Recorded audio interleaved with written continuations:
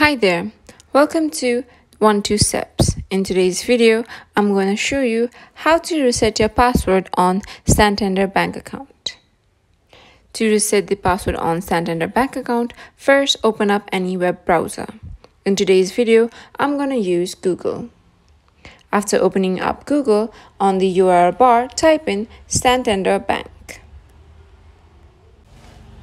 After typing in that, click on the first option called Online Banking.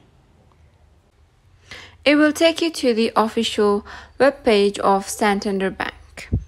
Now, to reset the password, first you need to click on the login button, which is located at the very topmost right corner.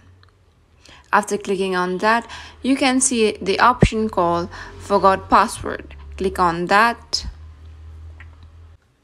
after clicking that, it will take you to the reset password page where you need to put in your user ID and your last four digit of your security number.